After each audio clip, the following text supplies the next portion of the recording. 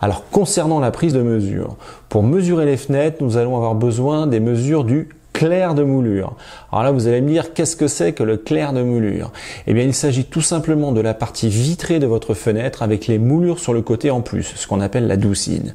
Donc pour les gens qui ont des fenêtres en simple vitrage, il va falloir placer le mètre en extrémité de moulure, comme vous pouvez le voir actuellement. Vous lirez alors euh, la mesure réalisée sur l'autre extrémité du mètre.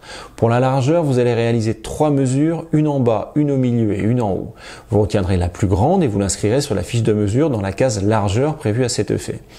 Pour la hauteur, vous allez réaliser trois mesures, une à gauche, une au milieu et une à droite, et vous retiendrez la plus grande et vous l'inscrirez cette fois encore sur la fiche de mesure dans la case hauteur prévue à cet effet. Alors attention, si votre fenêtre comporte des décors, qu'ils soient horizontaux ou verticaux, vous n'en tenez pas compte et vous passez outre leur présence. Cela ne change en rien la prise de mesure, puisque ces derniers ne seront en aucun cas modifiés avec l'installation d'un survitrage.